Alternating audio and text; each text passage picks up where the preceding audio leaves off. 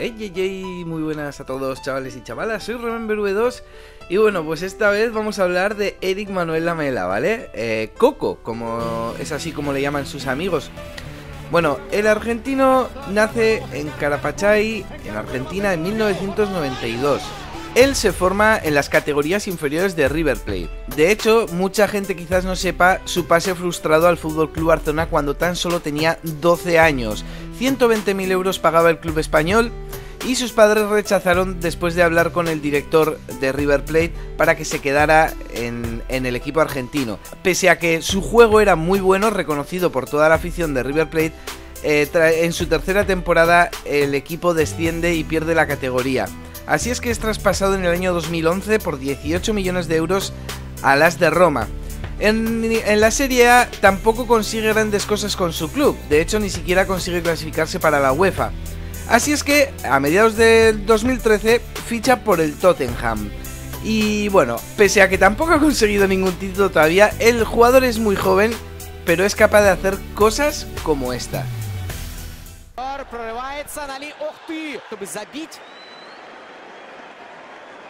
А, извините. Я-то думал, что он исполнил покруче. А, он и покруче исполнил. Просто с разных камер по-разному видно. Еще раз дайте нам разглядеть это.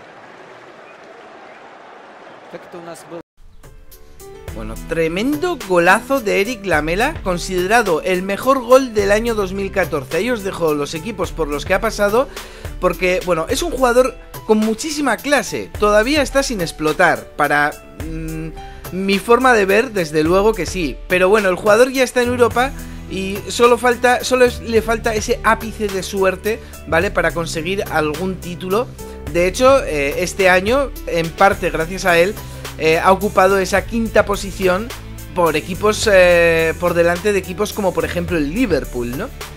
De padres gallegos y además orgulloso. se siente aficionado del, del Deportivo de La Coruña y bueno, pues yo le deseo muchísima suerte a, Eric Lamela.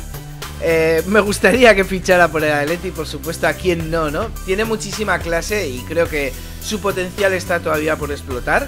Vamos a ver qué sucede. Yo de momento lo que sí os puedo decir es que este es el mejor gol del año 2014. Tremendo golazo de Lamela, ahí lo tenéis. Y bueno, eh, os voy a poner esa comparativa, ¿vale? Del gol que yo he hecho. Прорывается на ли... Ох ты! Чтобы забить. А, извините. Я-то думал, что он исполнил покруче. А, он и покруче исполнил. Просто с разных камер по-разному видно. Еще раз дайте нам разглядеть это. Как это у нас было?